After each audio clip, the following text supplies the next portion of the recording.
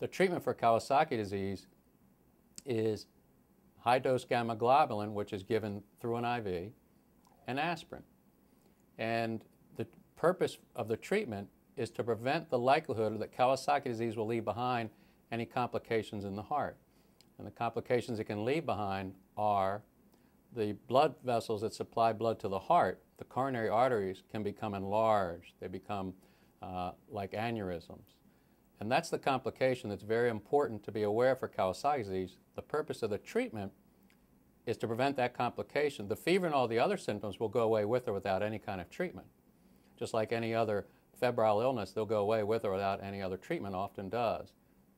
But the purpose of the treatment, the gamma globulin and the aspirin, is to decrease the likelihood of having the complications in the heart that can be left behind. Without treatment, overall about 20 to 25 percent of patients who have Kawasaki disease will have those complications in the heart. With the treatment that I described, we can decrease the rate of complications down to about 3 to 5 percent. So it is very, very important that Kawasaki disease be considered in patients who might have it and then, in fact, treated if it's thought that they may well have Kawasaki disease.